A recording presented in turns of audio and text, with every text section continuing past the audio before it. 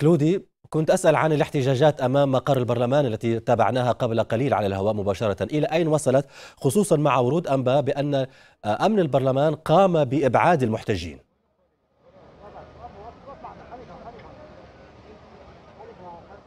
نعم المحتجون من العسكر المتقاعد لا يزالون معتصمين هنا في الباحة الخارجية المحيطة بالبرلمان اللبناني.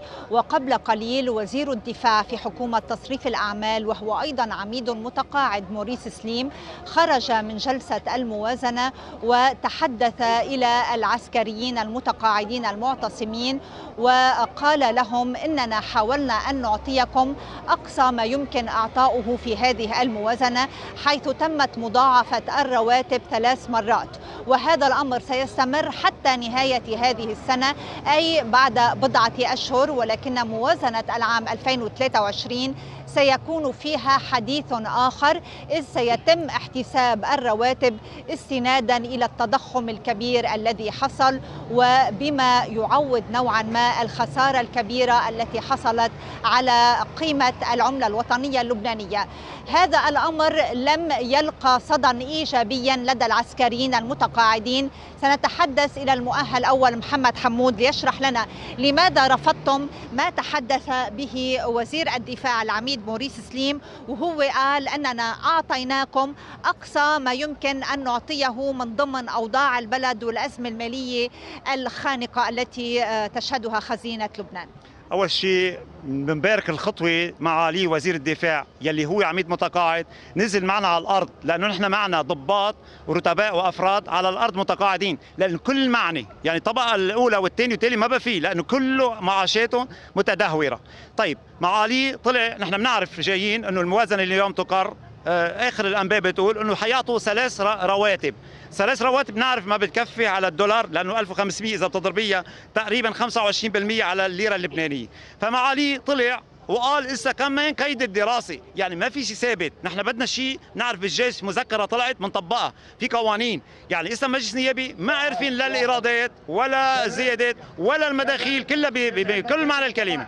بس نحن اللي بدنا نسأله هالقطاعات اللي قالها على ثلاث ثلاث بتسرع كل القطاعات؟ القضاة والنواب والدكاترة الجامعيين؟ أم كلنا بنفس الهواء ثلاث أساس راتب؟ هذا بدنا نعرفها. لأنه نحن مطلبنا الأساسي كان موضوعي يعني بشكل جزء نمرر هالمرحلة هالثلاث شهور مثل ما بقول قبل الموازنة 23 إنه تكون على 1500 المعاشات وتضرب ب 8 تساوي مع كل الناس. يعني بتعمل شوي إنعاش بطريقة إنه على 8000 ما عم نقول على 38 يعني قصدك التعميم يلي ممكن يصدروا حكي مصرف لبنان للقضاة إنه بده آه، يضرب لهم الرواتب على أساس 8000 ليرة. بدكم إنه يكون في تساوي مع القضاة. صحيح. يعني. هذا اللي نحن مطلبنا إنه نحن نتساوى مع كل الناس. إن كان طبعا عالية ولا طبقه فقيره كلها بتتساوى وبتكفي حياتها الاجتماعية. يعني وزير الدفاع قال أقصى ما يمكن أن نعطيه من ضمن أوضاع البلد، يعني يبدو إنه التوجه ليس هكذا، شو رح تعملوا؟ آه ما أقنعكم ابدا؟ أكيد نحن لساتنا متقاعدين تربينا على المناكب العسكرية، ولساتنا ماشيين بمجال القوانين، ونحن عم نضحي لعائلاتنا، فنحن هلأ ما ضحينا على الحدود حنضحي هون لأنه واجباتهم يردوا علينا، نحن وقت الأمور بدها تتعقد وبعرف أنا ما بقى فيني أجيب علبة بنادول أو علبة حليب لأولادي، فأنا بدي حياتي لأي حياتي، فعلينا علقنا بهالدنيا خلق بالدنيا علي بس بده يضحي إحنا عم نضحي لأولادنا نحن ما بدنا بالحرب وحنموت هون يعني داس أعمارنا ما أقل متقاعد عمره 50 سنة وما فوق فهي الأمور لازم ينظروا فيها فنحن وساتنا احتياط هلأ يلبونا على الحدود أول ما بالناس وببلاش بالأول كنا نروح على الحدود ما نترد على عائلتنا لأن كنت مأمنة بس هلأ إذا بدي أروح على الحدود وعائلتي منها مأمنة قرايبيني بالخدمة الفعلية بصيروا يطلعوا بأهلهم صار بتصير بتردد فلازم طب يعني ينظروا بهالوضع. اعتصامكم هلا شو رح تعملوا؟ رح تضلكم موجودين؟ عم نراقب عم نشوف شو الجلسات اللي عم تكون مع إنه نحن في الضرائب هلا بدنا نشوفها المؤذيه المؤلمة يلي قد ما يعطونا ولا شيء يعني آه واحد بالمليون فهيدي الضرائب هلا بدنا نشوف الدولار الجمركي ده كمان بده يتوافقوا عليه هذا ضرائب ظالمة ظالمة ظالمة يعني إذا الدولار الجمركي 15 ألف ليرة لبنانية لن توافقوا ورح ابدا. ظلم ظلم. ما بقى في حدا يتحرك بأي مجال كان وخاصة مجال التعليم. نحن قادمين له مجال التعليم. هلأ عم عم ناس ما فيها تسجل اساسي ما فيها تيجي على المدارس سنويات أنا بقول لك أنا رجال رئيس لجنة أهل بسنويات صار لي ثلاث سنين. الاساسي نص اساسي السنويين يتقاضون 3 مليون. مقدمين استقالتهم على البيت رايحين يشتغلوا شغل ثاني طب لو سمحت يعني قد إيه تقريبا العسكري المتقاعد عم بتكون معاشاته بالدولار؟ يعني اللي من أدنى ل... ل... لأعلى راتب تقريبا في ببلش تقريبا ب 900000 900000 يعني ما بيطلعوا 25 دولار 25 دولار أو فبيوصل للحد الأعلى الضابط ما بيروح بده يحط لبناني ال 100 دولار. يعني شيء مؤذي أكثر من هيك ولا في. وشوف الإزلالة بالمصارف إحنا ما ننسى المصارف. مصارف كمان عم يذلونا أكثر. ما هن يمكن من المعالي الطبقة العالية واللي هن حاكم لبنان ووزير المالية بالدرجة الأولى. لأنه نحن العسكري اللي بيطلع على التقاعد بيروحوا بيحولوا له على المصرف بيطلع له المبلغ اللي كان في سنة بثلاثة لقضاها ليعمل شيء مشروع أو يكفي بيته أو يعلم أولاده ما بيعطوا اياهم بالقطاره وبيتبهدل. كمان هذه المصارف لازم ينظروا لها ويكون لها يد وزير المالية ويحاسبهم. ما بس إنه نحن نوقف و... الاعتصام مستمر هنا أمام الباحة الخارجية للبرلمان.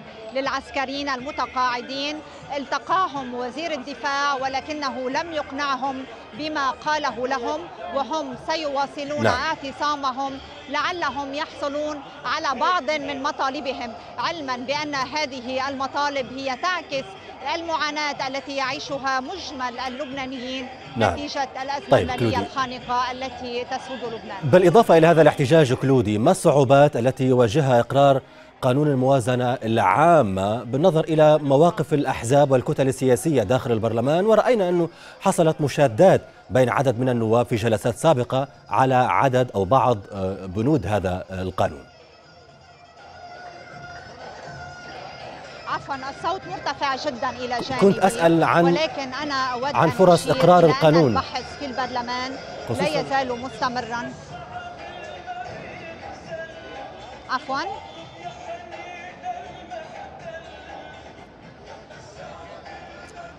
كنت أسأل كلودي ما فرص إقرار قانون الموازنة العامة خصوصا وأنه يتم مناقشته خلال أيام ماضية وكانت هناك جلسات وحصلت مشادات بين النواب حول بعض بنود هذا القانون.